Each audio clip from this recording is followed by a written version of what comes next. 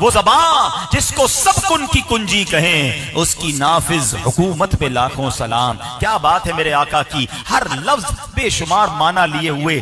हिकमत का समुंदर नबी पाक की मुबारक जबान से जारी होता। अरे ये वही आका है कि जब गुफ्तगु फरमाते तो सामने वाले हैरान हो जाते। दुनिया में किसी पढ़े लिखे आदमी, दुनिया में किसी डिग्री होल्डर, किसी जनाब दुनियावी तालीम या दीनी तालीम वाले बंदे के सामने बैठो। समझ आता है, यार इसने पढ़ा बहुत अच्छा है, मुताला बड़ा गहरा है, उस्ताद बड़ा मज़बूत है, इसलिए बड़ी अच्छी बातें कर रहा है। सुनो, जब आका गुफ्तगु करते, अरब के बड़े बड़े लोग बड़े बड़े इंटेलेक्चुअल बड़े बड़े पढ़े लिखे लोग कहते थे, ये ये फसाहत कहाँ से आई? ये बलागत कहाँ से आई? इन्होंने तो कोई किताब पढ़ी नहीं, किसी मदरसे गए नहीं, किसी उस्ताद से सीखा नहीं, फिर ऐसी जबान कहाँ से पाई? सुबहान अल्लाह रब ने अपने हबीब को बराह रास्त उलूम अता फरमाए। बराह रास्त हिकमत अता फरमाई, और वही अल्फाज, वही जबान, वही अंदाज के बारे में इमाम इश्क मोहब्बत लिखते हैं ना, मैं निसार तेरे कलाम पर हजूर बोलने वाले तो बड़े आए।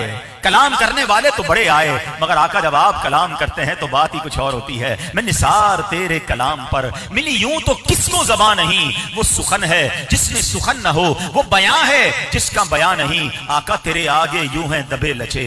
अरब के बड़े बड़े, जब नबी ये बात बात करते थे, बयान फरमाते थे, गुफ्तगु फरमाते थे, बड़े बड़े फसीह बलीग इंटेलेक्चुअल जो जमाने के थे, वो शॉक्ट हो जाते थे, हैरान हो जाते थे, गुमसुम हो जाते थे। आला हज़रत कहते तेरे आगे यूँ है दबे लचे फुसहा अरब के बड़े बड़े।